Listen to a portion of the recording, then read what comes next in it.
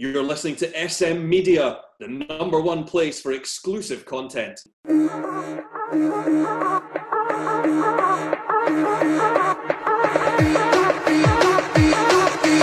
Hi everyone and welcome to this week's episode of the Scottish Football Show right here on SM Media. I'm Scott McPike, delighted to be here again. Joined as always by Wilson. Wilson has been very busy, but what's been happening? Didn't start off well. Um, Killie, Killie got another doing the day from Aberdeen, um, which wasn't it wasn't a great performance. Never mind result. Um, but I have to congratulate both Celtic, Hearts, Man United, and Leeds United for two extra special games this afternoon, which were both great to watch as well. Aye, definitely. Shankers isn't here this week, but we'll we hope to have him back next week. And we're joined by a very special guest this week. Former Falkirk, Partick Thistle, Dumbarton, Albion Rovers, and Airman, Ryan McStay. It's a pleasure to welcome you on, Ryan. Thanks for joining us. I know ball, look forward to it, lads. Aye. What's happening? You good? I'm all good, mate. I was at work today, so I had to watch the, the Celtic game and work. Uh, again, it was a it was a tough watch, but obviously Celtic making history makes it all worthwhile. So aye, it was good. Uh, but obviously there's uh, big problems at Celtic. I think uh, if I'm just touching before that there, that next three games are massive before we play Rangers in the second of January. If you can't beat uh, Ross County, Hamilton, and Dundee United, then you don't deserve any, if you ask me. So the next week's a, a massive week leading up to the, the Old Firm. So hopefully Celtic can get back into some sort of form.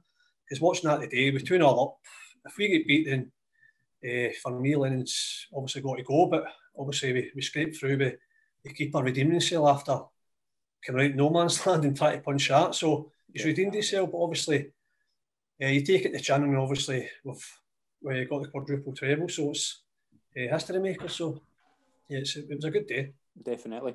We'll start there. We'll, we'll start with the Scottish Cup final. Obviously, Celtic historic quadruple treble. Wilson, how how important and historic is that achievement for Celtic? I mean, it's, it's, it's something that's absolutely incredible. You know, let's not beat about the bush what what the, the club and the various managers and players have achieved.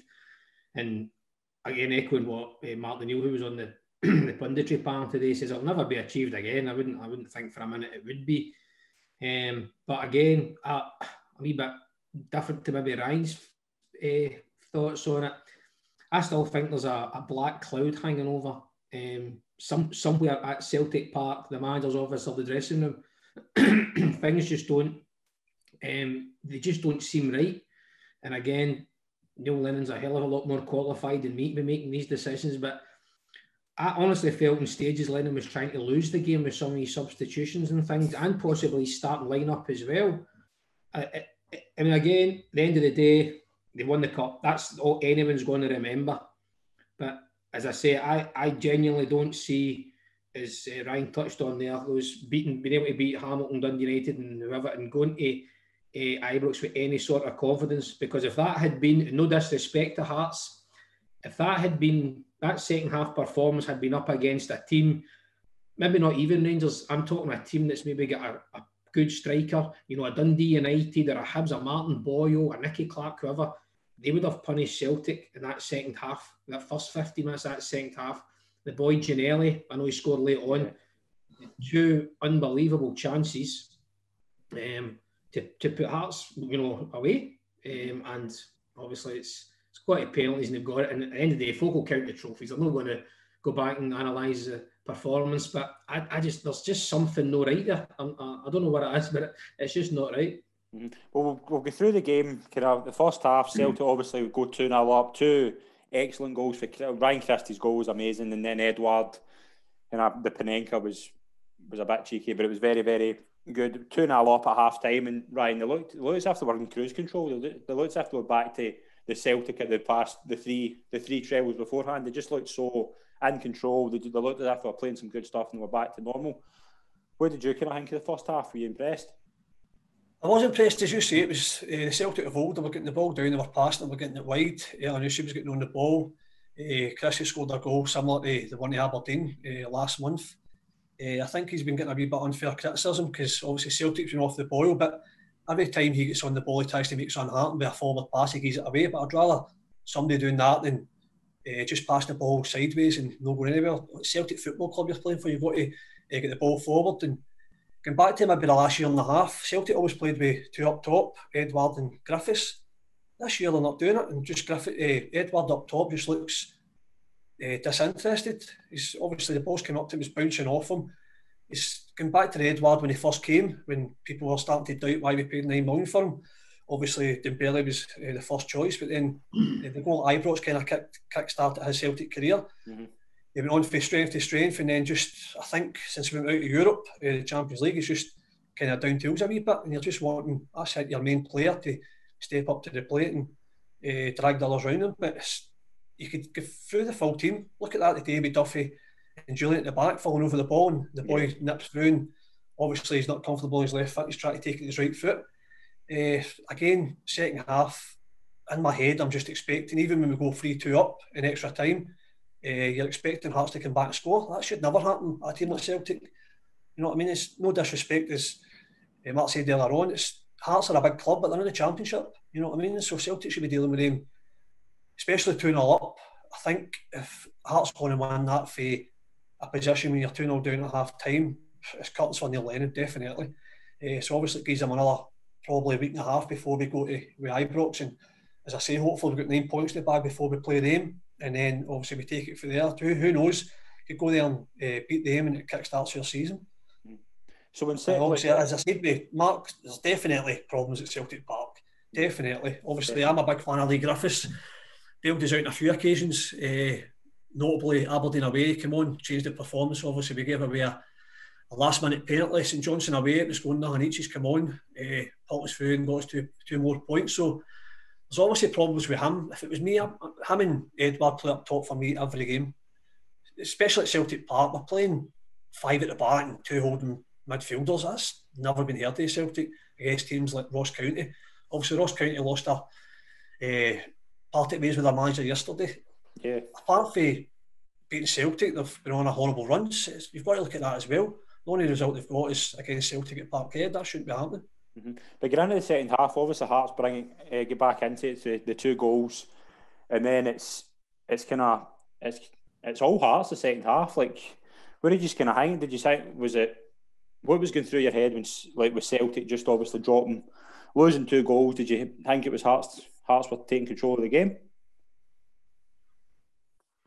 Absolutely. I mean, he scored three minutes into the second half. Um, but I think again, I think you've got to give credit to Robbie Neilson. You know, oh, definitely, he yeah. He made a sub. He's always given them a half-time team talk to try, and you know, get them back into the game. Um, but and from from what I was seeing as well, I, I thought in the first half, and I, I know he's a young guy and he's you know he's going to learn, blah blah blah. But the young goalkeeper, you know, J- Jullien cleared a couple away from him, you know, in the first half. Rather come and take it. He yeah. kind of fumbled the one where Naismith could have got a wee toe on it. And I, I felt the back four kind of lacked confidence in what was behind them. Yeah. Um, and, and, again, it's understandable. He's a, he's a, young man, you know, he's played maybe six or seven first team games, uh, and then he's pitched into a, a big cup final. But then, as I say, I don't want to use the expression, but when, when Hearts scored that goal, Celtic absolutely crumbled.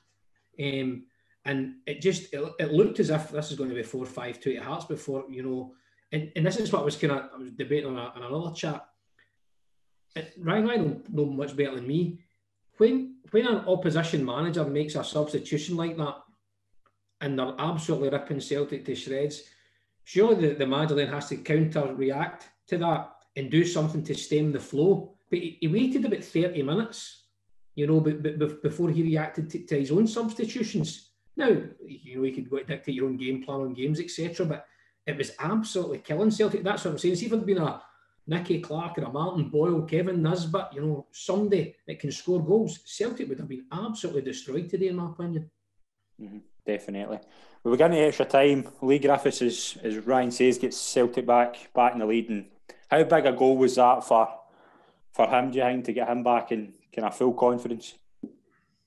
It's massive. Obviously, there's a lot being made of it. Leigh Griffiths, uh, I know for a fact, because obviously I'm the player assistant manager at St Roxon, I know for a fact he was in uh, during lockdown at, at our ground, uh, working with Scott Allan uh, daily, uh, working on his fitness. And then when you see pictures of people are saying he's overweight, he's not overweight, he just needs games. Mm-hmm. Uh, and that's why for the last two months he's been coming on for maybe the last 10, 15 minutes. You're not going to get match sharpness playing. You need to play him against teams at home like your likes your Hamilton, uh, your Dundee United, uh, teams like that to get them up to speed, not flying them on with 10, 15 minutes to go. And then last week against Lille, obviously a nothing game for us. He's sitting on the bench. The weekend again doesn't come on again. So obviously there's something lurking in the background there. Uh, and it wouldn't be wouldn't surprise me if he's maybe looking for a new challenge come January. Because there's no point of sitting about for the next uh, four or five months getting 10, 15 minutes here and there. Where he should be, in my opinion, uh, one of your top main players up front Edouard. Definitely. He likes like Klimala's got more game time in him. No. Klimala for me is not Celtic class, nowhere near it. I mean, I, 100% agree with what uh, Ryan said there, but and, and we touched on this a couple of weeks ago. You know, I if Leigh Griffiths leaves Celtic in January, is it a case of then it's it's a player that doesn't believe they can claw this uh, league back from from Rangers and, and do it, and you're thinking, I don't want to be part of the team that didn't win ten because we, we should we should have won it. You know, going by financial and squad depth, etc., etc if, if, if a massive, massive player like Leigh Griffiths leaves, does that kind of more or less say, I have no faith in Neil Lennon and the board or whoever to deliver this title? Yeah, I wouldn't say that. I just think it comes down to game time for him. Obviously, he's getting on his career. He doesn't want to sit about. And obviously, he's, he's got well documented uh, history of his mental health and things like that. And obviously, don't get me wrong, he, he brings a lot on his own with the social media kind of thing. Uh, but should be judged on the park. And I think every time he comes on, he delivers. He gives the, place a lift. Obviously, there's no fans there.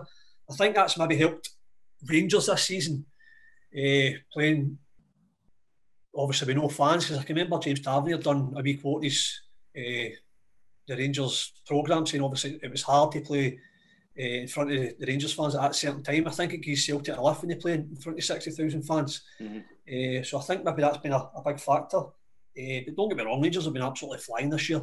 Up until maybe the St Mirren game, I was people were asking me, "Oh, what do you think?" I was like, I can't even see them conceding, never mind getting beat.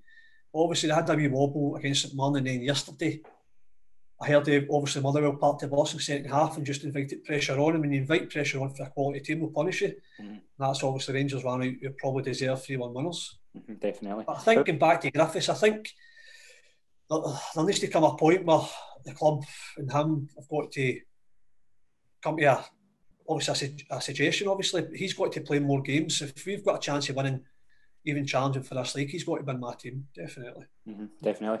But Hearts get back into it with the, the equaliser and they goes to penalties. See, Conor Hazard, like how how important was it that he got he was the winner there? Because it was how important was it for his confidence to get that that one winning save and because he had a, he had a pretty poor game, didn't he, Wilson?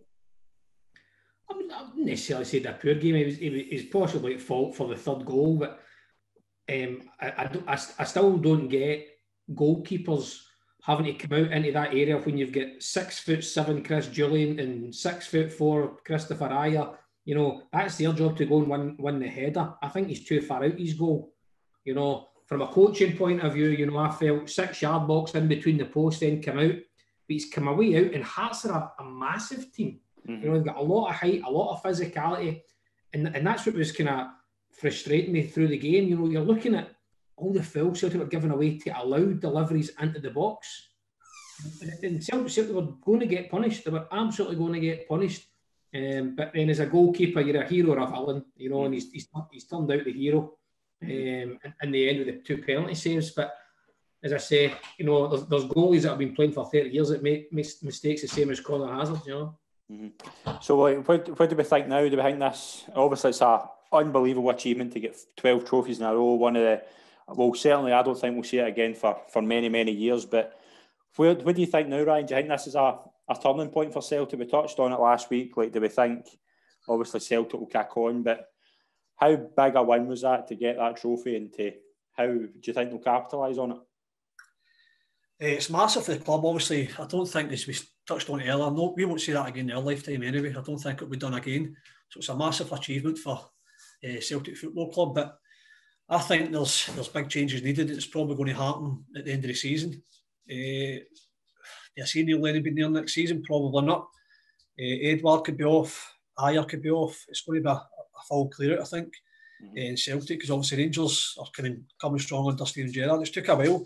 Again, everybody's praising Gerrard with the stats and things like that, but again, that's another trophy missed during the week there. So a, club like Rangers, if they don't uh, obviously win the league, that's going to be three years without a, major trophy. That doesn't happen at a club like Rangers. So no. again, you're going to be judged on performances, and I think that's why Neil Lennon's come under a bit of criticism. Unfairly, I think at times, obviously all the uh, the protests outside the, the, the stadium was a bit of a shambles for a boy, uh, for a, a, a legend like that at Celtic Football Club. It's served his, I think he's won 22 trophies now as a, a player and a manager, so you've got to get him uh, a wee bit more credit and, uh, for a legend like that. But I think under the circumstances, for me, I would like to see Celtic maybe invest more. I think in January, I think we need a, a goalkeeper, maybe another centre half. Again, you've brought in Shane Duffy. Uh, the quotes on his wages are maybe 30 grand plus. Uh, we've brought in a keeper that's cost us five, six million, who for me doesn't look anywhere near the quality Celtic need. But again, you're going to have him for the majority of his contract. You're maybe going to have to loan him out to get maybe the wages back because you're not going to uh, regroup the recoup the six million you've paid for him. Mm-hmm. Maybe it's going to Southampton and maybe try to get Fraser Forster back alone. But again, his wages were absolutely unbelievable. But again, if you're going to challenge Rangers and maybe stop flinging away the 10 in a row, you need to do that. You maybe need to fling money in January to get a centre half, uh, a goalkeeper, maybe a centre forward if you don't fancy Griffiths. Definitely. But what an achievement for Celtic 12 trophies in a row, the quadruple treble. Hearts will feel very hard done by, but we'll we'll move on to the league. We'll touch on the five results over the weekend. Rangers went 16 points clear at the top, a 3-1 win over Motherwell after going a goal behind, it and getting them back into it. Hibs drew one each with Dundee United. Dundee United got a late equaliser through Bolton with cancelling out Magennis's opener. Hamilton, big result for them, winning 2 0 away to Ross County. It saw the end of Stuart Kettlewell's run as manager. St Mirren, 3 2, another 3 2 victory at Love Street for them. Brit, uh, Erhahon there winning Obika with the goals. And today, Aberdeen going to Rugby Park and winning 2 0 at Kilmarnock. We'll start off with obviously the, the big talking point, which is Rangers, 16 points clear at the top of the league. Wilson, how big a result that for Rangers to get come from a goal down to get that big result? Honest, um, over the weekend, I think there's much much bigger talking points uh, than uh, watching Rangers again. But I, th- I think um, again, I, I, Ryan's touched on it. You know, you go you go to Ibrox for ninety minutes and part the bus. You're, you're you know you're going to get broken down eventually. Um, good win, and as I say, a few of my Rangers supporting peers have been on. Uh, you know, saying that, that this is the turn. You know, this is their turning point and such because last year or this previous season, had no strength and depth. You know, and this year you know, if you'd have said at the start of the season, oh, Morelos will not play much or score much this year, I thought they'll be lucky to finish in the top six then. But, you know, Roofe's come in and done really well. Um, think every time he seems to play, he seems to come up with a goal. Mm-hmm. Um, I don't know how, how good he is over a 90 minute game. Um, but I, it's as I say, and I read a wee stat through the week as well, that I think the previous four competitions that Rangers had lost or been put out of as such, they'd lost the subsequent uh, league game yeah. after. Um, so that's I think that's probably why you know Steven Gerrard was a bit excited at full time yesterday. Because um, as I say, I think that I think the lead's unassailable. You know, I, I've made no bones about that. Um, I think probably from the from the old firm game. Um, but it was again part of the bus for ninety minutes. You know, good good teams at Rangers, and I actually watched a bit of the highlights last night. Defoe looks like he could have scored a few as well. So, um, a, a good a good result for them. And as I say, points on the board is better than games in hand. Mm-hmm, definitely. Mm-hmm. Uh, Ryan, like obviously you're, you're coming from a Celtic point of view. Like how what do you, how do you feel going to going to Everton second of January? Do you, you, do you think this Rangers team is going to be hard to beat? Definitely, I think obviously Celtic play Wednesday, Saturday, Wednesday uh, against Ross County, Hamilton, and Dundee United. I think if you drop any points against these three teams, it's over before we even play them in the second. Uh, so it's got to you've got to take care of the three teams, and then hopefully you get into uh, the game at Ibrox and turn up and do a performance, and then it kicks kickstarts your your season. But if I'm going to be honest, uh, if I had to put if I had to pick the now, obviously Rangers are flying the now. Uh, I'll just get that momentum. You know what it's like when you're playing. Uh, I've had it throughout my career playing at certain teams. you turn up, you know you're going to win. That's the way Rangers are now. Uh, obviously, barring the St Mirren game and they made a few changes. Uh, I think getting back to Morelos, I think he's come in again, unfair criticism. He's no scored, but again, watching the St Mirren game the other night, he's exactly what they missed, bullying the two centre halves. It's a Mirren, had a free ride the full game. Uh, at least if he's no contributing goals, he's, he's maybe putting them off. Obviously, the challenge up at Dundee United, that's what he gives you. Obviously, the defenders know they're in a game, uh, but obviously, Rangers are demanding more goals off him. But I think Kemar Roofe came in, he's been probably the, the player of the season, barring James Tavernier. He's been a fantastic signing.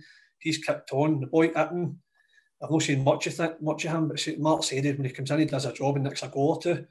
Uh, we Arfield that I played with Falkirk, uh, top boy, he's been flying for Rangers this year.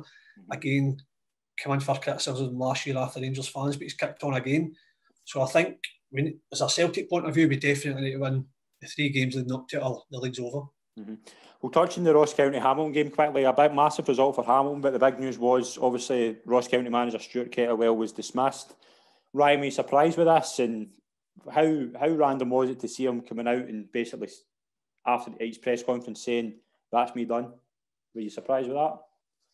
I was surprised, but it shows the, the marking man obviously played against Kettlewell through obviously the number of years when he was obviously at Ross County and that. And, uh, to come out and do that shows uh, what kind of guy he is, honest and up front. But I think the way Ross County have played this season, I don't think I'm surprised. I think hopefully they'll be good to him because he's felt that way. Maybe give him a, a head of the roof job or something like that and keep him involved with the club. I think it's that kind of club to look after the former players and hopefully they'll do that. Uh, but I think obviously my former assistant manager at Falkirk, uh, Chipper, Brian Rice, obviously that's a fantastic result for him. Yeah. I think it makes him put some four points ahead of Ross County. So gives him a wee gap and gives him a bit of confidence, obviously, to kick on. But I wasn't surprised that obviously he gets sacked, but hopefully make a, a good appointment and maybe kick on again. But for a selfish point of view, it was a, a good result for a guy that obviously I've uh, got on with over the years. And for a football point of view, he's been one of the biggest influences on my career at primary. So hopefully he kicks on again. The, the result at Rangers wasn't good at the start of the season. People were calling for his head. I think he's turned it around with a couple of good results. Yeah. And again, hopefully they kick on as well. Mm -hmm. Definitely. Wilson, St Mirren got a, another big result, 3-2-1 over St Johnson. How do you kind of take the credit for that, for, for last week, encouraging them last week? Sorry, who did I encourage last week? Uh, Ali. Aye, you and Ali were at it. Aye, well, that's right. Aye, aye. Again, I, I watched highlights and I, again, I, I know I'm critical of some teams on here, but I, I don't get the St Johnstone thing at all. You know, I think they've got some good individual players, um, but I, I just don't see them. It must be used to come to Rugby Park twice a year, and every game was nil nil. You know, and they were terrible to watch. But again, going back to uh, the Ross County thing as well, I'm just going to touch on and ask Ryan and yourself, Scott. Do you think this could possibly have a bit of a domino effect in terms of the SPL managers? Like Ross County have acted, well, I suppose Gary Holt resigned or mutual consent, whatever you want to call it, through a bad run. Um, Stuart Kettle's obviously not survived the run that they're on. Um, Alex Dyer at Kilmarnock uh, isn't on the best run either. Do you think, you know, that this maybe start a bit of a domino effect with some of the low, uh, the kind of bottom six teams in terms of uh, changing managers? I think it possibly could. I think the problem is is that Stephen Robinson, I think, was uh, Stephen Robinson as well. He's in a he's in a kind of poor run, but there's kind of Ross County. Ross County are probably the only team you would say were in a really poor run of form. I thought I kind of want to get your point of view, Wilson, later on about Kilmarnock with, with Alex Dyer, but I'll pass it over to Ryan. But I think there's potentially, I think we could see a few managers losing their job in the next kind of few weeks or so. But it just, I would say, I, can I kind of feel a bit for Stuart Kettlewell because I think there is a bit, I, think it's a bit of a strange setup they've got up there. And I think obviously Stephen Ferguson was was a co-manager, wasn't he, for a while? Aye, aye. That was a kind of weird, but I'll, I'll pass that to you, Ryan. He went up the stairs, didn't he, I think? Aye, he moved up to director of football. A, strange move at the time, but obviously put a, put a, a wee bit more pressure on the boy Kettlewell. But as I say, you're you're maybe only two or three games away for the sack these days. You've, you've not got two and three years to build a team. you're judged on two and three performances, and if you're getting maybe cut adrift at the, the bottom of the league, you've got people on the board that want to make decisions and want to maybe you know, maybe have somebody else in line to come in. So it's uh, football's changed for maybe 20 years ago. You maybe time to try and build a team. Now you're judged on results. Mm-hmm. Because if Ross County get cut adrift at the bottom, then they'll be away into the championship. It's tough to get out that. You know what I mean? Uh, teams obviously Partick Thistle Falkirk they've dropped down further. Mm-hmm. Two of my former teams, massive, massive clubs, and they'll find it difficult to get out there. Falkirk losing the game, and they could maybe have built a wee gap away from the likes of Partick and Cove who've dropped points over the last few weeks. So that's yeah. difficult once you go on that free throw. Mm-hmm. So, so in saying that, Ryan, if you if you were in charge at Parkhead, and obviously prior to today, would you would you the run Celtic were on? Would you have got rid of Neil Lennon then? I've I was a I backed Neil Lennon up probably to the Ross County game, and I felt as if a club like Celtic couldn't go on that. Obviously, we went out the Champions League, we went out the Europa League, uh, and teams like Ross County were coming and putting us out uh, the League Cup. Uh, and I just felt we needed a change, maybe just an injection to try and get us back into the title race. But obviously, the board have seen something different. Dermot Desmond, uh, Peter Lawwell obviously backed him, and it's up to Neil Lennon to deliver. Uh, hopefully, we're still in a. The next three games determines whether Neil Lennon's going to try and save 10 in a row, which uh, at present doesn't look uh, good. But I think, as I touched on it earlier, the, the criticism Neil Lennon got was unfair for, for obviously being a legend at the club. But hopefully, from a Celtic point of view, he turns it around. But uh, that's been a wee bit optimistic, I think. Mm-hmm. Wilson, another another Kilmarnock game live in the telly that doesn't end well for you. A 2 0 defeat at home. Would I've I've kind of spoke to a few Kilmarnock fans, and obviously I want to get your, your views on this. The all reports has Alec Dyer's a, a really really good guy, and but is it is it getting close to kind of the end of the road for him at Rugby Park? I un- unfortunately, I think it is. I mean, obviously, I'm not, I don't know the man. I've never met the man, but he was part of the whole success around the Steve Clarke era, um, and he's came in and usually kind of he would pull a result out of the hat that you wouldn't expect, and then but I mean that's that's one one in seven, um, and it's again no disrespect, but losing to teams like Hamilton Accies and things puts a wee bit of pressure on them. But again, and it's this will turn into the Celtic show, much to Scott's disgust. But again, it's, it's going to it's going a wee bit back to you know what I said about the old firm game. You know, you can you can see within the players. I don't think they have any confidence in the manager, and I, I can start to see that reflecting in some of the Kilmarnock players. There doesn't seem to be much of a game plan. Um, the substitutions, the, the kind of rotation of the team. Gary Dicker as a big loss, obviously not playing. Mulumbu, you know, we've been saying we'll get Mulumbu and we'll get him fit. I mean, how long does it take to get fit? Yeah. You know, even even if he can play 20 minutes here and there, the, the quality that guy possesses is unreal um, and doesn't get a sniff. Uh, and as I said, it's, it's results based. And even today, just, I mean, again, Ryan, Ryan's best place to talk about these kind of things, but I looked at the sending off today, and that that for me typified I don't care. You know, now I would Danny Rogers had made maybe two, three incredible saves during the game. Now it's the 95th minute. Sam Cosgrove is through one on one, you know, and he's he, he, pulls him back, knowing that he's going to get sent off, knowing now that he's maybe going to miss two, three games. Okay, rather than just I know you don't want other preferred just to score a goal and then he scores from the free kick anyway. you know, but obviously he doesn't know that. But I just felt that was a wee bit brought on as a sub, and I'm thinking, even even try and make a slide tackle and make it look as if it was just a, a blatant pull in the back, you know, and, and getting sent off. And that for me, just a wee bit of I'll, discipline that. And I can I can see kind of mirrors the same way, you know, watching Celtic's recent performances, um, creep, creep into Kilmarnock. But again, it's results based and I, I, don't, I don't, I don't think the board will react. I, I just think they possibly should. I don't think they will. I think they'll, they'll stick with them well into the new year. Um, but as I say, a lot of players are out of contract, and a lot of our better ones as well. Um, I know there's some other clubs sniffing about one or two of them, but as I say, are we just making change because? And I, made this point earlier, and I, I make no uh, uh, qualms about it. Gary Holt's now available on a free as such. Mm-hmm. You know, if you were to take him from Livingston, you maybe have to fork out some money. He's there. And it's a very. I'm, I'm not. That's just my opinion. That's it's very mixed between the sets of the Kilmarnock supporters, um, and I just feel if the you know everyone says because Gary lives in Kilmarnock, played for Kilmarnock, Kilmarnock fan, is he going to get the job?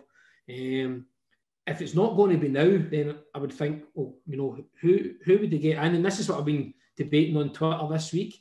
It's fine. It's fine to want to get rid of a manager. The, the punters are entitled to that, but no one's given me cast iron concrete names of who they want in. Yeah. You know, I said I said weeks ago when when I thought Lennon should have went.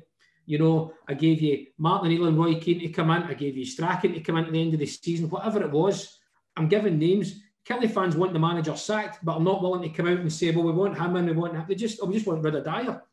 Yeah. You know, what? bonkers. Aye. But uh, obviously it was a, another interesting week, but we'll we'll move on to our, our special guest, Ryan McStay. We'll, we'll obviously kind of touch on your career a wee bit. You start out at Falkirk. What was your kind of youth days like there?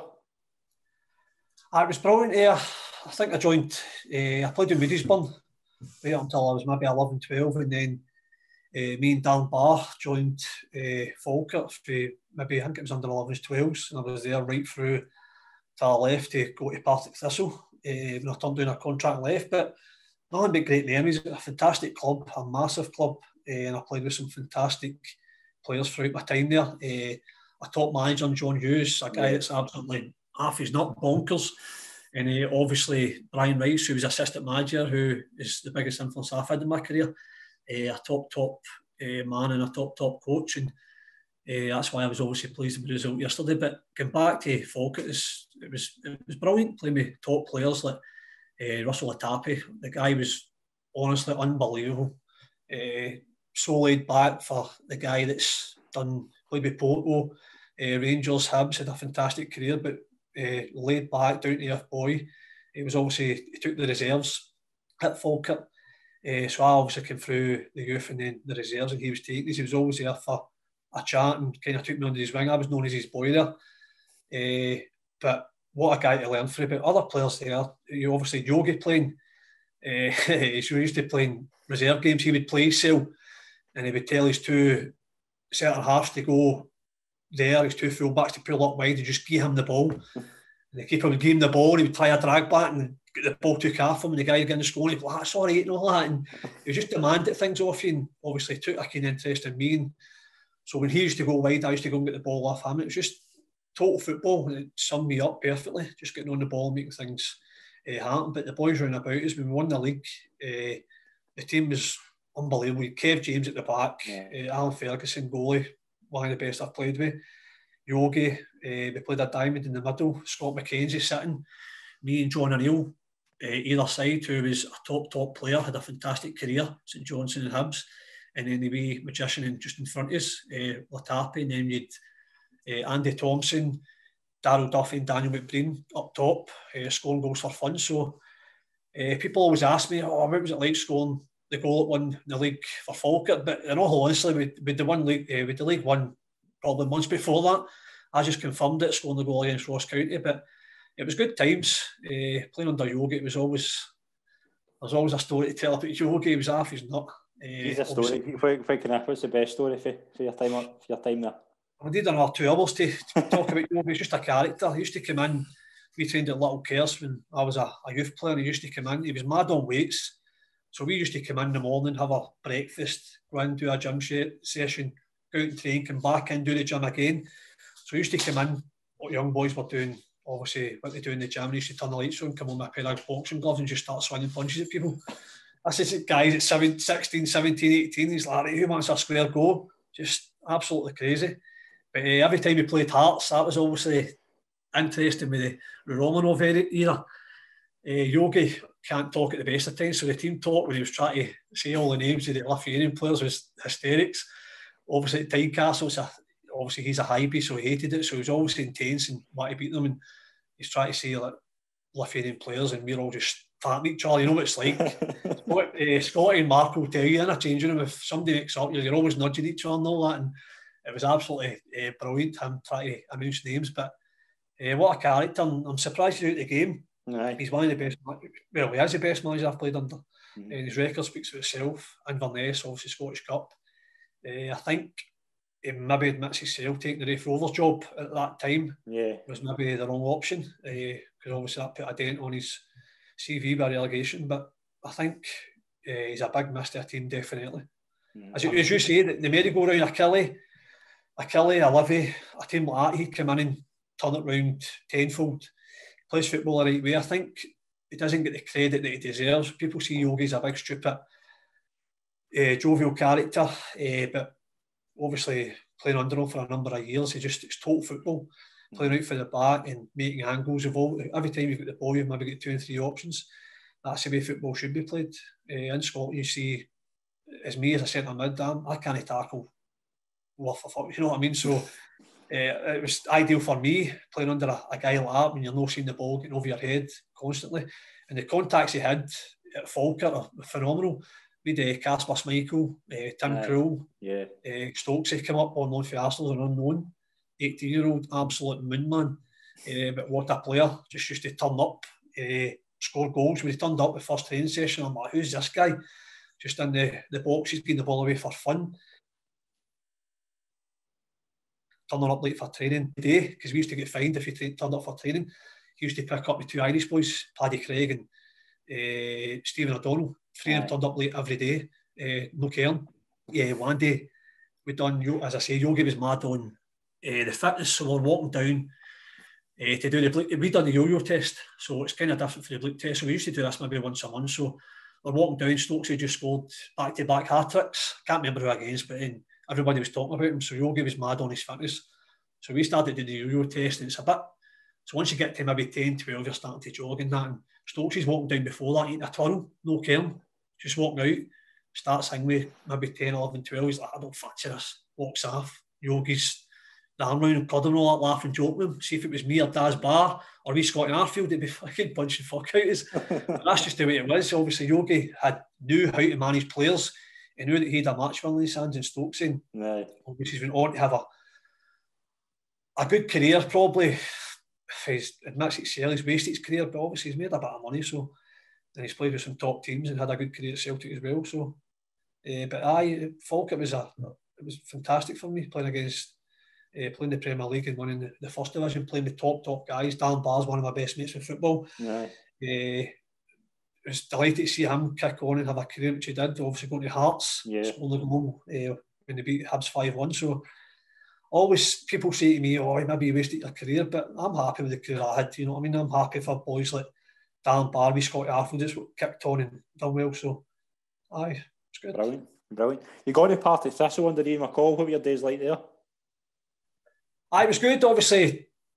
Uh, Ian McCall was at part when I went in as a first year YTS. Uh, there's a story to that. My brother played with Falkirk before me for a number of years, and uh, it was just right, right about the time in Airdrie, well, going bust and Falkirk, I maybe didn't know if we were going to go up or not. We weren't going to keep their youth system. So McCall took over. And, uh, I was still at school at the time, and uh, I've come back in for school. My brother walked in the door, just been released with Falkirk. I think McCall came in and just released the full team. I think he obviously wanted to bring in the likes of Fergie and Kevin James. Mm-hmm. And then I was going out the door to go up and sign uh, full time with Falkirk. So uh, one McStay was going out the door and one McStay was going back in. So obviously that was my first initial contact with McCall. Obviously had a fantastic six months. Obviously at Brockville we beat Hearts in the Cup 4-0. Colin Samuel, uh, Lee Miller, Mark Kerr, that kind of team Owen Coyle. Aye. And then obviously left to go to Dundee United. Uh, so I worked under him for six months. He was a top uh, manager then. And then when I was out the team at Falkirk, I came back for an injury. I went and loaned with him to Queen of the South down there. He had a fantastic six months down there. They were cut adrift at the bottom of the league. Uh, we managed to stay up. I think they were 13 points behind Stranraer. We managed to stay up. Uh, and then I went back. I was in the team at Falkirk again. And then he phoned me when he got the job and wanted to make me my first signing. So uh, I said to him about Muller, good mate Mark Twaddle. Uh, so he invited the two of us to come in on the Monday. Uh, again, typical manager trying to penny pinch, said the two of you come in because you're getting the same deal. So the two, me and Big Mark Twaddle walk in his office and he's, he sits down, he offers his whatever it was, I can't remember at the time. So me and Big Todd are trying to play play it cool and all, I will let you know and all that. That's maybe a, a bit too low. So we jump out Far Hall Road and we're going down towards his car. Phone goes straight away. McCall, two minutes later, okay, that's okay, that. And so we agreed.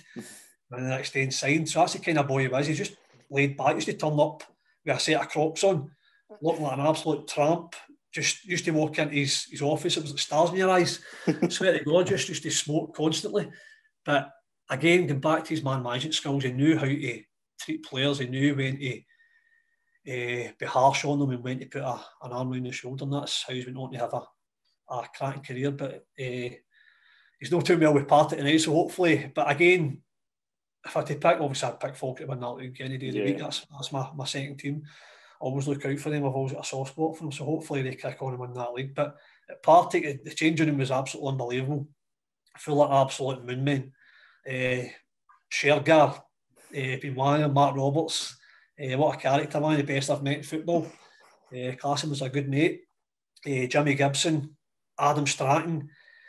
Uh, these two absolute moonmen, Kevin McKinlay and Liam Buchanan, used to walk into Firhill.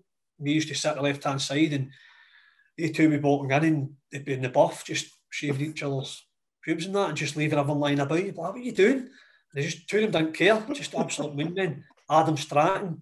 Uh, Mark will tell you this one, this is a good one. So Adam had obviously a wee bit of a baggage, so things happened and then obviously McCall said, I've had enough and obviously got my way and he went to Ross County, but Adam's a top player. Uh, and so they came back down. I think it was a cup game we played them at Firhill. So I'm at the I come at the front area, the front post in a corner. Marco's the front area. Adam Stratton just walks up, taps him. Marco turns around and Adam spits in his face. And Marco just laughs. And I'm like, the fuck's here? And that's just the two of them? Just, just to walk about and just spit at each other. Just absolute idiots. Uh, but that's the way football was back in the days. Willie Kinniburgh, he was a character and all. He came in loan for Motherwell, just uh, it was good times. Uh, Jimmy Gibson, we uh, had our own wee, obviously, going back to the day, a wee gambling school we had. Uh, we used to get a, a good few battles with there. Every Tuesday we used to go train and then go out as a, a team, be a bit of bonding session because we are off on the Wednesday. So it was good times. Uh, and again, maybe that was down, down to McCall getting the right characters in at the time. Yeah. And uh, I think we just missed out in the league. I think it was to, I can't remember who won that league that year. I think we came second.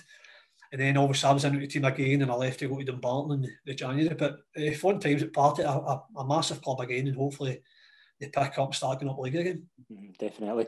You touched on you of spell Dumbarton, you had a spell at Dumbarton and Albion Rovers as well. Like, is there any memories for them? Uh, Dumbarton's probably my fondest time since I went part time. I absolutely loved the club. Uh, I went there in the January again. I think we were 10 points behind Cowdenbeath in the, the third division. Jim Chapman, the, the manager at the time, brought in uh, myself, uh, Ross Forbes, who only had a good career in yeah. Motherwell, uh, a few other boys, and we kicked on and won the league. So then we went on to the second division. I was there for another, I think it was two years, and we, we maintained our position in the, the league. And obviously then Dumbarton kicked on again and had a number of years in the, the championship, and they've kind of fell away again. I think obviously, like all, all other clubs, have had money issues. Yeah. again, hopefully nice to see them pick up again. But uh, I love my time at Dumbarton. Uh, just money issues again. I was one of the top earners in the manager at the time, Alan Adamson. I think he made it a cop out. It was one of the times when it was a bad winter, and uh, I was out with a groin injury, but we never played any games, and he tried to make out as if I missed a lot of games through injury and tried to cut my wages in half. Obviously, I wasn't happy with that, so I looked elsewhere. uh, actually agreed a deal with Brechin City under Jim Weir, and uh, there's a story to that. So I, I agreed it with my, my agent, Kevin Drinkell. So anyway, I got me on holiday with my new wife. I say to him, listen, he offered me the same wage I was on at Dumbarton. I, I agree with that. I'll, on holiday for a week. I'll come back and get it sorted. So anyway, I come back, I phone Kevin Drinkell saying, listen, let's get the deal done with Brechin. I'd already told Dumbarton I wasn't signing. And uh, my agent phones uh, Jim Weir and Jim Weir comes out with, oh, I thought he didn't want to sign because it was over a week ago. I've went and signed uh, Gary Brady instead. So my fucking mind did not. was like, obviously, I went for having a decent wage at a good club to two weeks before pre-season having nothing at all on the table. Again, I was left in limbo and obviously I wasn't going to go back grovel to Dumbarton because obviously I'm not that kind of guy. So I ended up signing my hometown team, Albion Rovers, and uh, what a season it was. I went for a right good wage to nearly pay to play. Uh, but I wouldn't change it for a world. Played under obviously the crazy gang, Paul Martin, who was uh, he was a top man, top manager as well. And against all odds, we stayed up. Uh, we beat Stranraer in the playoffs. Uh, and some uh, cracking characters there. Kieran Donnelly again, another one of my good mates. Uh, Tony Stevens, top top player. John Gemmell, obviously character in the game as well. Uh, so fun memories playing with my hometown team. Obviously, that's a team that I've always I grew up around the corner from. Again, maybe before my time, they were a laughing stock. Uh, Scottish football and uh, Paul Martin kind of changed that. Mm-hmm. Got his own boys in and played some uh, good football. And the place is called the San Siro, but mm-hmm. it's an absolute bog there. So obviously, you need to play football a certain way. And he got them up the leagues and then obviously left due to his, his own health. So yeah. he's not come back into the game since. And it's, it's, it's bad seeing Albion Rovers in the, the way they are. Obviously, hopefully, Reidy used to be Reidy's boot boy. So hopefully, he turns it around and gets some uh, backup fight because I've played in the lower league with BSC. See if Albion Rovers drop into that league, you won't see them again in the, the senior leagues. Mm. The money in that league's frightening with Kelty Hearts, uh, East Kilbride. So the likes of them breaking the figure down, we won't see them again for a number of years. So hopefully, I think for Albion Rovers' sake, the only saving grace is Brechin City, uh, which looks like they're out unless Reidy gets more players in in January. But yeah. Uh, the budget's not there, so hopefully they can just kick on and maybe grab eight and ninth and then maybe kick on again next year. But there's no money, especially with COVID. There's no clubs, especially no fan base. Clubs like Albion Rovers need fans through the door, Definitely. sponsorships, and they're not getting that because obviously companies are going bust right, left, and centre now. Definitely. We'll move on to your days at Ayr. I want to bring Wilson in on this because a few questions to ask you for a, a third party. uh, to be honest, Matt, when I spoke to Matt yesterday, he spoke very highly of you in terms of, you know, as a player, your ability, you know, and but he just wondered did, did um, getting the job as Sonia Jackson in EastEnders. He's getting mixed up. He's talking about my brother. My brother gets called Sonia Jackson. That was my brother he played with. I can't do it. It's the first thing he said. When I texted him, he said, "Who's coming on at the line next day?" Say this. no, but to be, to be fair, he did, he did, he did speak very, very highly of him. Mark doesn't give out praises, you know. Yeah. Um, he's, he was the one that always used to say to me, you're one of the most gifted players that I've played with and things like that. And that's why I think he took me to Ayr. Obviously, Ayr's a, it was, it was a massive club. Again, it was a good change in him. Fans were a very demanding bunch. Uh, obviously, again, we, we had a right good team there. We'd boy Ozzy McCamey, the Moth, who's still there, absolute legend, that boy. Yeah. Uh, United legend. Uh, who else did we have? We Davy Sinclair in the middle of the park. Uh, we had a right good time. We were the favourites for the league, but Queen South for full time. Mm-hmm. Then uh, pre season, I can remember beating Motherwell 4 0. I think to ourselves, we've got a right good team here. But it just didn't work out. I think Marco admitted his cellar. I spoke to Marco on several occasions because players used to come to me and say, listen, you need to tell him to take a step back. He was a gaffer coming into the changing room, slotting boys, and I think he was a player again. And once you become the manager, you need to take a step back. And I would go and see him about, listen, Mark, you need to take a step back, mate. The gaffer now, I know, I know, I know. And then two minutes later, I'm slotting people again. So I think, uh, obviously, I've watched a few interviews and I do agree if he could get his own men in for the start with a better, a better budget, could have done better things because there's a massive club. Uh, and I've got a keen interest in it because one of my, my best mates is a gaffer there, Mark Kerr, a fellow mm-hmm. Bridge boy. So I've got a keen interest in the club now, having Mick there. So hopefully Marco can get the club uh, maybe, I think it's a bit much challenging. I think they might be sitting mid table now. They had a bad result yesterday, but hopefully Marco in his first job can uh, do well with the club and get them up. But going back to Marco, he's one of the best guys I've met in football. Uh, him as a player, one of the best I've played with. Unbelievable. Him and Simon Donnelly at Partick Thistle where I dreamed to play with. Get the ball, just whip it in the corner, the two of them be there. Uh, but what a player, what a finisher, and one of the best guys to have in a changing room. Hmm. Absolutely. Well, that's just what I was going to touch on. I, I don't know if you you watched the interview with Scott McLaughlin. Aye, Scotty's another one. Scotty's probably one of the best in the changing room on all TikTok. He's, the two of them together were brilliant. But we, we asked we asked Scott a question about why did it not work for Market Air? You know why? And Scott gave his own personal account, and that's that's fine. But what, what, do, do you think Mark could have done any more with the tools he was given it here? I don't know. I think obviously the first season I was there, I was only there for a year, so I can only comment on that. I think we finished sixth or seventh the team we had, we should have been well up the league. We should have been playoffs at least, but it just didn't work out for him. Uh, I think obviously it's well documented who had done his right hand man, and uh, people have said, but I won't get into anything like that. But I think Marco knows his sale. If he could bring, if he could do it again, maybe like Andy Millen come in for the start. Obviously, very experienced coach, but going back to Marco, his training was brilliant. See when he, he took training, it was all. It's like what I'm doing now. I'm a uh, player assistant manager at the Rock. I like to just get the boys uh, wee boxes to start with, passing, possession, crossing, finishing. I think nowadays coaches think, you know what I mean, they're landing a plane, there's cones everywhere. You know what I mean? It's it's not like that. Boys don't enjoy it. Also, I'm the link between the boys and obviously uh, the manager around. You know that it's, the boys just moan about everything. So going back to Marco Air, his training his training was top notch. Maybe took a back seat a wee bit more for the players. I think uh, he wanted to be the Mark Roberts, the Partick Thistle and Airdrie and Falkirk days and slotting people. I think as a manager, you've got to let your assistant do that, and I think maybe that's where he went wrong with who had and at that time. Uh, but it was a top change. You know, obviously the, the, the kit man at the time, Kelso, he was he was absolutely unreal there. He could tell you a few stories about that. Aye, uh, what a guy he is. So could he do something different? You could always say you do something different, but at the time with the players he had, we should have done better in this first season. So it's the players' fault. It's Marco's first year in charge. Obviously, I think he was just maybe late thirties at the time. Mm-hmm. Uh, but as I say, the, the players we had, uh, we should have done better. But then I think he done another two year, and obviously the results get better and better, and they make the playoffs. But then again, you're judged at a team like Ayr to to be challenging, especially in that league for titles. And uh, obviously Marco went and done well at Queens Park again, and they've went for another. Again, every time somebody maybe comes in with more money, they want their own guy in, and Marco was kind of shafted again there. Uh, but I think he's definitely got more to give to football. Maybe if he doesn't want to go sell, he's definitely he's made up he's tailor made for assistant manager. Definitely. With the way he is. You know what I mean? So I think he's definitely got more to give. I think he's still playing. I think he's about 52 now or something like that. You know what I mean?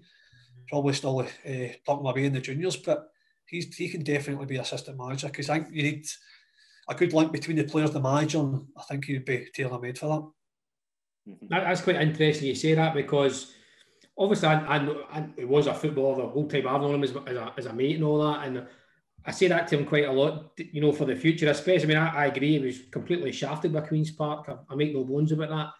And I always say to him, do you want to be a manager or do you want to be an assistant manager? Because because I, I, some, I sometimes feel, and you wouldn't mind me saying this, I sometimes feel he wants he wants to work with the better players. I mean, I can tell a quick, a quick funny story. This, this just sums him up. Um, he was doing his coaching badges and I think he had to do X amount of CPD or practice them, whatever it was for his assessment. Yeah. But the season had finished. Um, he's like, I'm going to do, I'm going to do it. And at that time, I was coaching an amateur football team in in, uh, in Kilmarnock. So I says, why don't you just come up and coach us? I'll make sure there's 18 boys. That'd be brilliant. That'd be brilliant, right? So I say to the boys, say, look, the guy's coming. He's doing his coaching badges. Just do what he says, and we'll get a game at the end, right? So he comes in you know, no qualms, start slaughtering folk right for the off, absolutely destroying these boys, right? He plays, he plays the first pass, and the, the centre midfielder's going to make an angle to go in the ball, and the centre midfielder just stands, stands dead still like that. He's like, What are you doing, son? you don't tell me to do anything. Would you do that on a Saturday? Just stand there and feed the ball? If he's no, maybe move. He said, We're moving. Right? so that, that was it. that was as good as it got. That was as good as it got. So after about 30 seconds, he's like, ah, you're shite. Oh, for me, aye. That's, like, let's, chill. Let's do a shooting drill. So he sets up this shooting drill and he demos it. Right now, the, the fella we had in goals, Gary, Gary Murdoch, I'll give him a wee name check, smashing amateur goalkeeper, smashing. Right? So Marco gets the first one, laces this thing right in the top corner. So that's how you do it. So the next maybe 20, 30 shots are over the bar, over the fence, wide. Gary doesn't make a save. He's like, you're absolutely shite. I'm joining in. right? I kid you not, honest to God, there's 15 boys there. I think he had about seven shots in a row in each top corner. Right? So, you know what goalkeepers are like?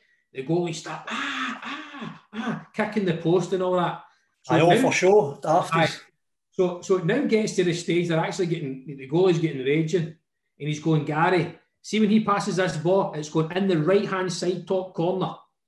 So Gary's taking a step, he's letting it get there and he's hanging it. He can't save any of them. Gloves off, just walked off. Ah, he's up there with the best finishers I've played with. He, he reminds me, obviously, from my early days at Brockville, Owen Coyle. Yeah. Never seen Owen Coyle hit a hard shot. It was just caressed into the bottom corners, and Mark was kind of like that. Uh, but I top boy, top boy. You could do a full hour on his stories alone. What was the Obviously, best? What was the best story for your time? Destroyed at The boy's confidence, absolutely destroyed it. But He touched touched on it. The last one, we I think it was Trouse it was on. Aye. where he took a second prize with wee Kearney. uh, we, wee Paul Kearney, smashing boy, but obviously wired up different to everybody else. But uh, it was a night that Neil Lennon got attacked in the, East End. I think we were out all day short at Partick. So again, can't remember what we were in. So we went into the toilet. It was me, David Rowson, and Marco. And we've all been there. There's a glass just sitting there in the urinal, so everybody's pissed in it. It's normal. and uh, so we're like, "Ah, fuck it, mum, we'll get somebody. So it was wee Kearney's birthday two days before or something like that. So we're like, mum, we'll get me Kearney. So somebody laughs it out. I think it was Rouser or something like that. So Marco goes out. He's like, oh, happy birthday, wee man, happy birthday, down it, down it. Wee Kearney does that with a fuck, that, it's about that size. Starts gulping it in the piss. He obviously realises straight away. So he's drinking this piss, it's just all over his shirt. So we're obviously fucking in stitches, but obviously the wee man doesn't find it funny. So he drops a glass and kind of punches, slaps Marco. So we're all in hysterics. So the wee man, I think, he- I don't know if he started greeting, but he ran out the the pub and we were like, "Oh, for fuck's sake. So me and Big Mark Todd walk out, try to calm him down, and Big Alan Archibald comes out, obviously the club captain. He kind of pins him up. He's like, don't you ever hit one of your teammates, like, hey, no matter what they do, fucking covered in piss. So anyway, we go. So Marco took a second prize for that. So anyway, we get into the town, get into social, and uh, Charlie Adams up at the bar. I've known Charlie for years playing against him through the youth. So I'm not talking about him. Me Kearney, just there's no filter with the guy. He's got piss all down his fucking shirt and he's shouting. Charlie Adams, obviously the songs that the Celtic fans sing to Charlie Adams all that, you're a blah blah blah. And I'm like to Charlie, just just forget him and all that, just forget him. But he just kept going on and on. Closer you get, Charlie Adams like, what the fuck is that smell? Fuck is somebody stinking a piss? Me Kearney's up and social, piss stained fucking shirt. Uh, but again, that was just Marco and uh, Rouse and the boys at the party. Were just absolutely unbelievable. Getting somebody to drink piss, but that's just the way the uh, football was these days. You, you couldn't do that now. You get to jail. Nah, I know. Sorry, the YTS days were the, the best uh, days of your life. But you do that nowadays, obviously you get you get pulled up, but uh, there were good times. Right, Ryan, were you at Partick when Stephen O'Donnell was there? Stephen O'Donnell. Play, plays with Motherwell, Kilmarnock player. No, no, I was before that. No, I was before, before that. Time, right? Aye, aye. aye. I thought he's a top player. He's done well for himself, obviously. International recognition, he's, he's done well for himself, aye. Mm. Yeah, it's fantastic. Kilmarnock, aye, absolutely. See, just while we're on that, Wilson, just before we can ask Ryan about Retty's career, well, we talk about the text you sent us half an hour before the, the end of the Celtic game.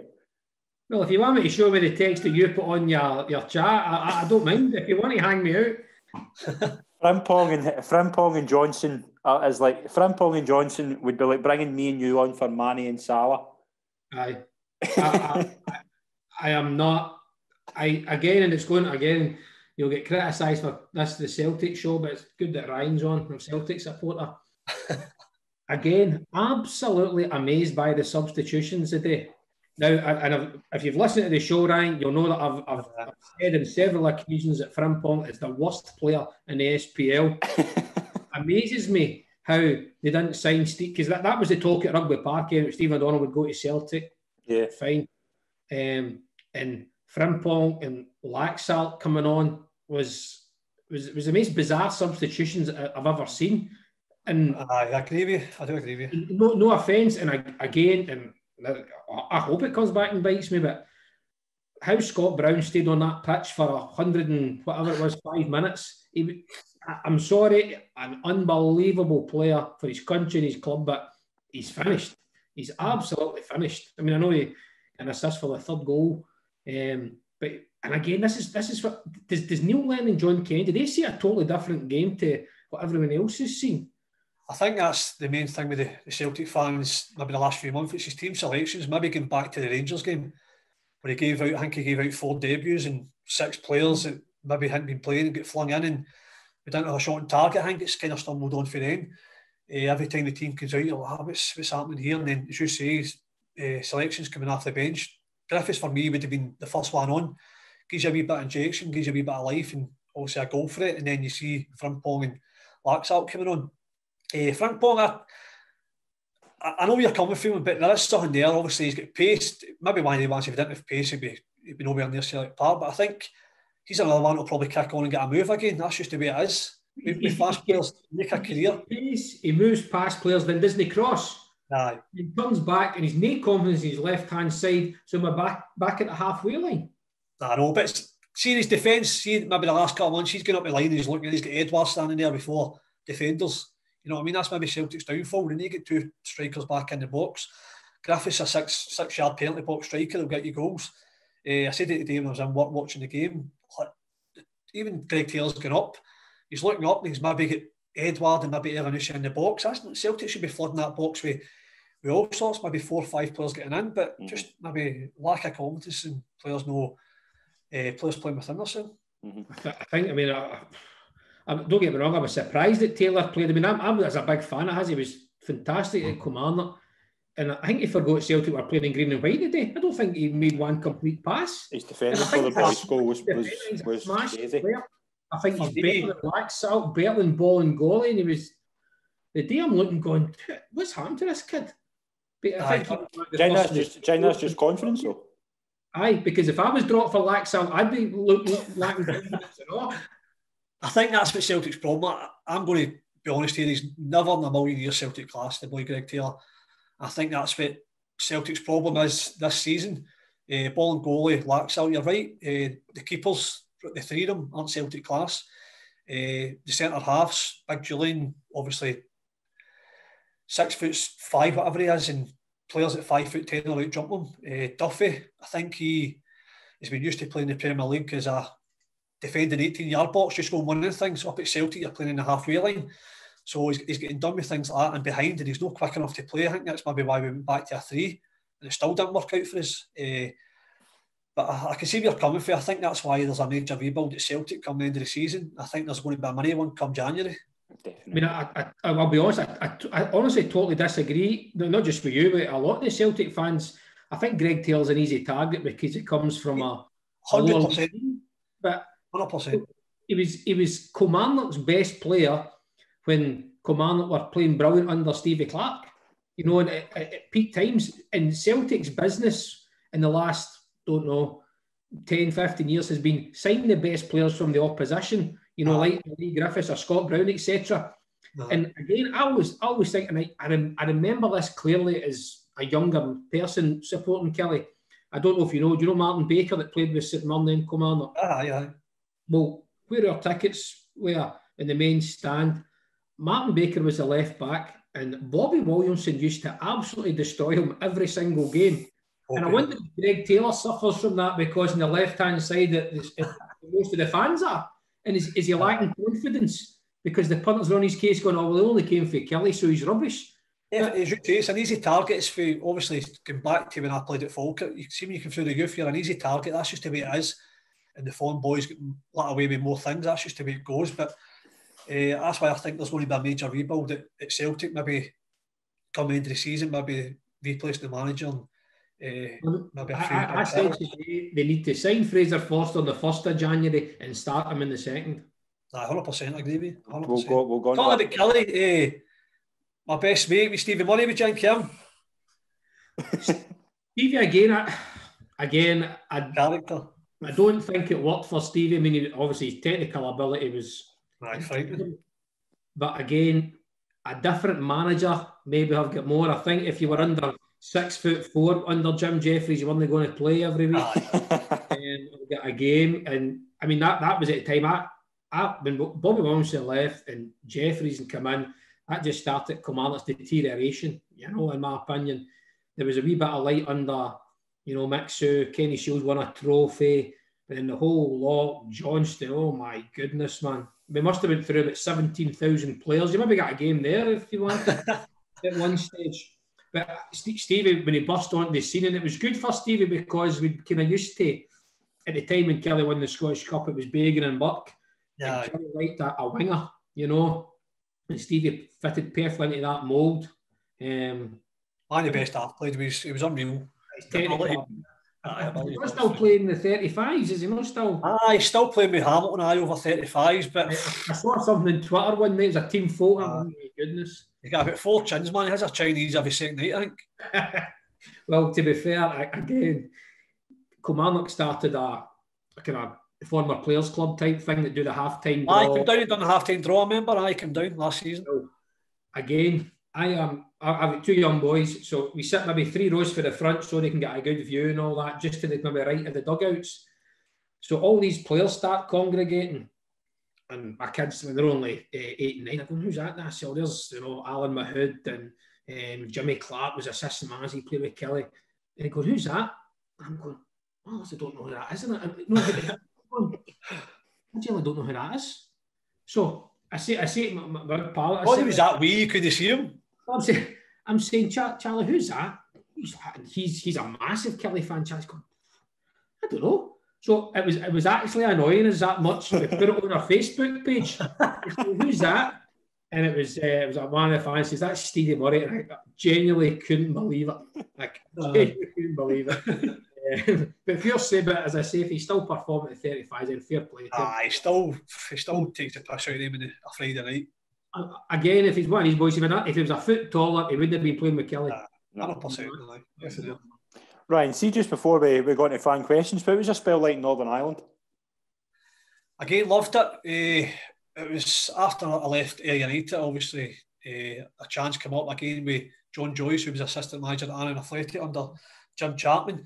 Eh, a lot of time for me, Joyce, as well. He phoned me out the blue saying that obviously he'd like me to join Annan, but there was maybe a possibility of going to Portadown and try something new. So I took that up and went over and played a trial game for them eh, against a conference team for England. Done well, set up two goals. I think we won 3 1. So uh, the manager at the time, Ronnie McFall, absolute character. Uh, he's a legend over Northern, Northern Ireland. One of Sir Alex's best pals. Uh, he phoned me after the game and said that they were in a bit of, I think they were put under restraint. They couldn't sign any players. So he's like, "Ah, I want to sign you or something like that. So I was like, "All right, what happens to, he's like, I'll give you a phone in two weeks. So again, I held off, held off because I wanted to try something new. And uh, again, so two weeks passed and Annan wanted to sign me and then Irvine Meadow came they were no way lie, they were flinging the money about. So Yeah. I went and spoke to the uh, the gaffers down there, uh, and they offered me a good deal, and I was like, I need to take it. So I took it, and then literally a week later, Ronnie phones me. Uh, I want to sign you that so as we can sign players, blah blah. Offered me a right good deal, and basically I was only flying over there, playing the game and flying back. It was mental. So I had to go and speak to Irvine Meadow. They weren't best pleased. I had to give them a sign-on feedback, which I wasn't happy about. Uh, good job I never spent it. Uh, but again, I was flying over it was it was ideal. I was getting the flight over sometimes half ten, half an hour flight, getting picked up at the airport, took to the game. They were paying for all my, my flights, my food, which probably financial strain out, probably because of my food bill. Uh, so I had to keep all the receipts. Uh, every home game, I just hand them in, play the game, go get a shower. Five o'clock, took to the airport, gave my money, and then flew home. I've done that every week uh, training Gabon Rovers across the road for me. So it was it was ideal. It was good because you were playing against different teams, different players. It's, Mhm. it's a bit monotonous when you're playing. Obviously, I played the lower leagues for the last maybe 10, 15 years. You're playing against the same players, same teams all the time. So go over to play derby games against Glentoran on Sky Sports again. Uh, and obviously, the boys were fantastic with me because I say I was coming over and uh, playing most weeks, and boys are sitting on the bench, turning up twice a week, and just a we had it for Scotland's turning up and just taking their, their position in the team. But fond memories. But then again, when it got into winter time, the flights changed. I was getting the flight at eight o'clock and sitting in airports for three hours myself, uh, freezing. So and then wasn't getting back to uh, ten o'clock at night. So it took its toll at the end up. And uh, but I'm glad I did it. And then I came back and signed with Annan. Uh, again, uh, probably one of my best times in football under Jim, uh, Jim Chapman and Lee Joyce. We probably should have won the league. Yeah. And then I had a two fantastic years there. And then my wife was pregnant with our first kid. So me and Big uh, Peter Wellerson made the choice to come back up the road and we're joint managers with Shettleston. Again, fantastic six months at Shettleston.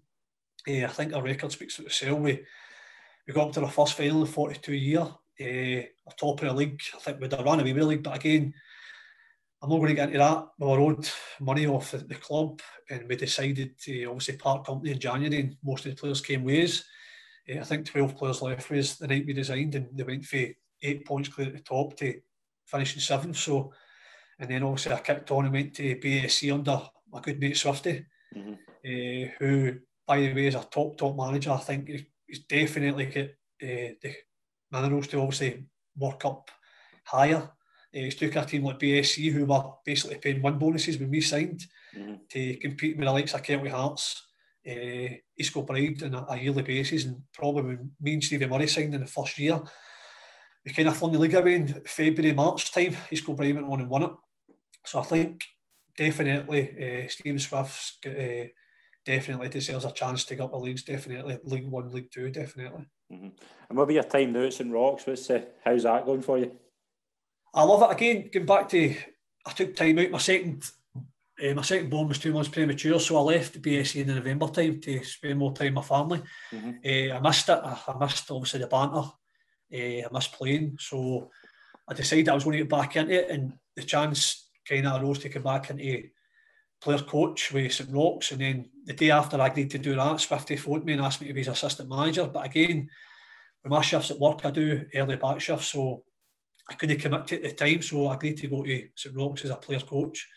Uh, I loved it. Uh, it's, a, it's obviously it's known as a mini Celtic. They, play off of Celtic went really well. Uh, obviously, their stadium's called the James McGrory Stadium.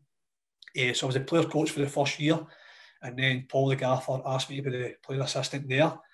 Again, it's it's not ideal because I miss most every second week because I'm back shift. I make all the games because I get my, my shifts covered, but ideally, I'm like Marco. I want to get back in as a, a number one myself because I loved it at Shettleston. Mm-hmm. I loved the uh, the intensity, 24 hours, it's non-stop I get players in uh, training. But just now with my shifts at work, I can't apply for any jobs because I can't commit to every week. So I'm trying to sort that out with my work just now because uh, I think I've got the obviously the knowledge, the contacts definitely make a go at uh, maybe starting the maybe the, the west of Scotland, maybe work my way up. I don't know, uh, but I've definitely got uh, ambitions to definitely get back in as a assistant manager somewhere and maybe as my, my own person maybe in a couple of years. Brilliant. It's been absolutely brilliant to have you on, Ryan. It's been really, really great talking to you. Just while, whilst Nine wants to ask a couple of things. Ryan, uh, again, I look at guys like like Mark and yourself and how difficult it is, you know, from playing, you know, big teams. Listen, They are big teams, Falkirk Party, even I was a professional football team, a big team. And I, I look how hard it is for us to get back in as such. Because um, I, I, use the example, you know, quite quite a lot with Mark. I look at somebody like Ian Durrant. Now, look what he did for um, the game and coaching and whatnot. And with the greatest respect, he, he's at East Kilbride as an assistant manager. Now, I know you can't just give someone a job because they're a big name, but I'm just wondering how hard you're going. I mean, you're mentioning, uh, is it Stephen Swift that was Irvine Meadow manager? Is that the same fella? Aye, he was uh, Kilburn that. Aye, aye. He's, he's, he's, that's up saying. He's done the groundwork, worked his way up. Yeah, he's actually like BSC. At, well, I'm looking at a guy, for example, like it's a shame Shankers isn't he on? Shankers manager Tommy Sloan, aye, a legend of the game, aye. But he's never ever went to a professional club. Aye. And I'm looking at you guys now with the greatest respect. I think you could possibly win 20 trophies with St Roch's. And would you think you would ever get a job based on that, getting back into professional football? I don't, it would be hard. I think. I think I've got a lot of contacts in the game, so it might be different for me. Maybe calling on a favour for somebody to maybe try and get in that, try and go on the ladder as such. But at the moment, I can't. I can't do that because obviously my work situation. Because I would be more than willing to take in maybe as an under 14s, 15s and try and work my way up. Uh, but I know what you're saying. Somebody like Swifty's maybe played his whole career, maybe at Stranraer, and then maybe going junior. That is hard to make that step up, but it, absolutely annoys me when maybe, especially in the lower leagues, maybe Championship down League Two, you see somebody getting sacked. It's just the same guy comes back in. It's like a merry-go-round. He's been mm-hmm. sacked five or six times and he just gets another job instead of getting somebody that's up and coming, fresh ideas, uh, plays football the right way, just doesn't get a chance.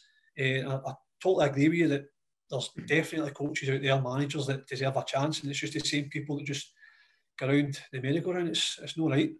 as I say, I'm a, I'm a, I'm a big believer, and I know it's totally dictated by finances. And, and I think I think that I mean I don't know so much what's happening Celtic, but I know Rangers have guy or did have guys like uh, the fella Gilmour, Lovenkrands, all these guys in coaching these youth teams. And in my opinion, you know, professional clubs like Kilmarnock, Hibs, all these teams in the SPL, there has to be some sort of way of getting guys like you know yourself that have played a high level of football your whole life to start and make and make it a job as such. You know, full time under 14s, 15s coaches. I know they've done a wee bit of work. Uh, James Grader's the one in Kilmarnock. I think Tam McMahon with these performance schools. No, it's more than that. Tam does. I, I, I think these these are the jobs that guys, you know, need to be getting straight into from the minute they finish playing. Now, not everyone, not everyone wants to be a coach, but if it's something you want to do, then there has to be some sort of pathway for me from players that finish the game because as we've seen in, in the press and all things about mental health issues etc and you, you made the point earlier Ryan about you missed it. You missed the dressing room you missed the banter I'm sure you probably got a lot of banter in your uh, day job uh, getting, getting the likes of you guys involved at academy level football if if you want to you know if if you want to um, as you say, you know a lot of people, and dare say if you said to Brian Rice, can I come in and coach your 50? They would say, absolutely. Uh, yes. I, I, I, still think there needs to be something in place where if, I, if, if my kid's ever good enough um, and he turns up and he says, oh, there's my coach, who's, who, who's Ryan and Mark? Well, Ryan played for Falkirk, Partick, whoever, Mark played for Killie or whoever. They think, oh, brilliant. Yeah, exactly. I'm not saying I'm not necessarily naming the best coaches, but uh, you, you imagine, I mean, again, a wee, a wee story, there's a wee fella, he's nine, and he goes to school with my kids, and he, he signed a contract for the Youth Academy at Rangers. So he's on his Zoom call the other night, um, you know, he's got the forms in front of them, blah, blah, blah, and he's got his picture of his youth coach. Now, I think it's maybe the, maybe the Craig Mulholland or something. Yeah, that's it. Right? And then within 30 seconds, James Tavernier and Steven Gerrard jump on the Zoom call for a boy that's an under 10s goalkeeper. Mm-hmm. And he's signing his form, and there's Gerrard and Tavernier. Now that makes that wee boy feel brilliant, And I just think, and I know that's a high level one, but that wee boy will walk in and say, Dad, my, my, my coach is some guy called Peter Lovenkrands. Who's that? And the dad will be like, oh yeah. oh my, even if he's a Celtic, oh my God, Peter Lovenkrands. No, 100%. And I just, I just feel these guys need, need to there needs to be some progress because so many guys are falling at the game mm-hmm. and, and, not doing anything, and it's affecting their mental health and issues issues that surround all that. Um, and as I say, especially in this day and age, obviously we we have it starting for March. I think a yeah. lot of young boys maybe. For maybe eight up to sixteen, will maybe lose interest in football by all these restrictions that are happening in football. Yeah. Uh, going back to uh, Falkirk, they've wiped away their, their, their, youth system, which was one of the base when I was yeah. going through the youth. I, I probably just missed it. I think maybe three, three or four years after me, if you made 10 passes, you were getting a move to Swansea. I think I just missed out on that. Mm-hmm. Uh, obviously, young boys were coming through youth, we Scotty Arfield and things like that, and then they've just wiped it away. Uh, I think, give credit, obviously, after what happened yesterday with Ross County, you've got to give them credit because I think they try and promote within. Yeah. Uh, obviously, Scott Boyd, I played with Party, he's been back up as a I think he's been back up as a managing director. Mm-hmm. Uh, retired for football for Killie, wee back up there. So I think they look after their own. And I totally agree with you. Teams uh, need to look after their former players, definitely, if they've got a keen interest. And will that be, because I've done my AFB licence, it's no cheap. You know what I mean? And if you want to go and do your, your A licence, you're talking maybe another two and a half, three grand. Boys having got that money, I know clubs maybe aren't in a position now to pay for that, but if it's maybe the likes of Falkirk uh, open back up the youth academy and maybe bring a few boys back like Daz Barr, uh, who was obviously he's the same situation as me the now with his work. He was assistant manager at Annan. He's took a step away the now, but he's looking to get back in uh, his, himself. Uh, likes of him coming back, uh, a legend at the club. Obviously played with Hearts. He's a big name. Somebody like that that could uh, the, the boys could look up up to. I definitely agree with it. Mm-hmm, definitely. We've just got to time for a few fan questions. I just want to ask uh, the first one for Stephen Nicol. Uh, Wilson, who think is going to win the League Cup? Obviously, there was a few a few massive results during the week. Obviously, man beating Rangers Who do you think's going to win the League Cup? Absolutely no interest. Four four Mickey Mouse teams. I don't care who wins it. Absolutely. I, I, although I, I, do I do find it quite quite amusing, and I don't want to put your company under pressure here, Scott, but I laugh how they, they invented this uh, Premier Football channel or whatever it's called, and they're charging more money on top of your BT, your Sky, your everything else to watch football, and they've got four dumplings in the uh, in the semi-final, so nobody will be paying to watch that, to be honest. Um, but um, I know I know Big Craig Samson at Hibs. Um, that's possibly my only link, so I'll, I'll go with Hibs to win it for Big Sammy. Brilliant. Aye, I'll go with Hibs. Uh, Jacko, I travelled with Jacko for free at uh, Falkirk, Jack Ross, so I'll be I'll be hoping he pulls out of that. He's obviously top boy and he's, he's kicked on. He's maybe only he's another one, for example. Six, seven years ago, he was assistant manager at Dumbarton. Now look at him now, he's one of the most sort he's getting talk, spoke about maybe taking over at Celtic, just, just shows you what can happen in a, a short number of years. I wouldn't, I wouldn't have thought he'd be taking Craig Samson there if that's true. the Armin man, isn't he? Oh, great guy. Well, uh, nice guy. guy. Uh, Ryan, who starts the Old Firm game in Celtic for Celtic Nets? And goals? Yeah. I know, Wilson, I know Wilson's answer. eh, I think obviously he's going to keep the boy Hazard in for the next game on Wednesday. So just depending how he does, hopefully he kicks on. Obviously he's a young boy and he made a mistake today for the third goal, but he redeemed himself. Everybody's just going to remember him uh, saving two penalties and winning the Celtic Cup. So I think if he plays the next three games and doesn't make any howls or gets injured, I think he's got number one jersey now. So I would go with, with Hazard. Who you got, Wilson? Just remind us. Um, I'll go. I'll go with Hampson. Scott Bain. Bain. I, I, I think they'll have a, a wee bit of a merry-go-round. I think they may be trying to get this boy out the limelight a wee bit, um, and just say is it four games in twelve days or something? Nah, they play Wednesday, Saturday, Wednesday. Aye, there, there, there, there, might slightly be a wee bit of rotation. Um, and again, I, I, I, was surprised, to be honest, Ryan, you said that at the start. None of the goals are good enough. I think Scott Bain is good enough. Um, but he's but again, you're comparing it with the likes of Craig Gordon, who was Aye, Fraser Forster, goals like that. Exactly, you're comparing it with that. But out of the three, I do think Scott Bain's the best. And you have to go to Ibrox. And I would agree with Scott Bain's the best out of three of them. Hopefully, hopefully they play a you know a 10-1 um, and try and get a point because if, if they if they lose that game, then that's that's kippish. I agree with you. I agree with you. Ryan, I've, I've got a question here. Have you still got Sonia Jackson's trump? Who's that for Marco again? Yeah. Is that a clown? Yeah, he's Tell me, brother. I'm going to take some after this. No. Brilliant. Final question. What happens to Neil Lennon if he loses the Old Firm game? Uh, I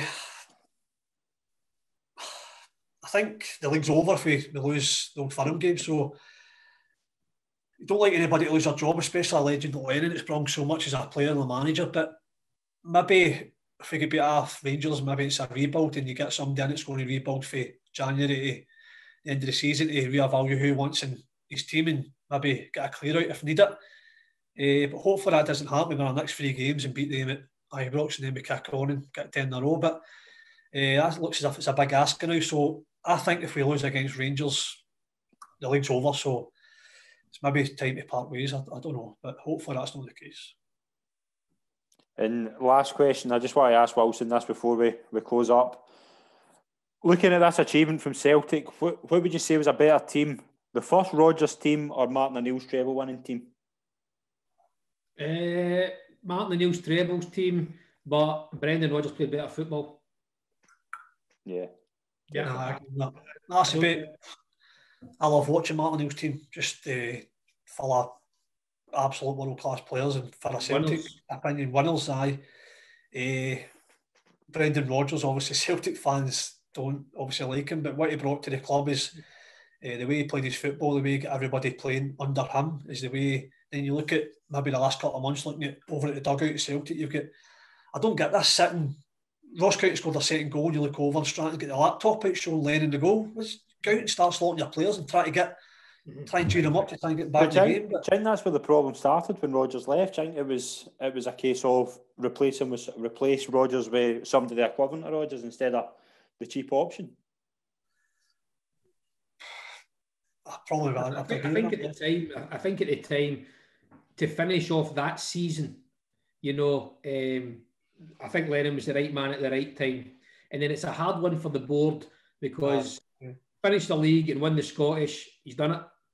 Uh, um, so it's a hard one, and then if you bring in a new manager, as as it was eight league titles in a row, does that manager maybe take time to adapt and mm-hmm. you know? So you think, well, let's get it continuous. But again, I keep harping back to this.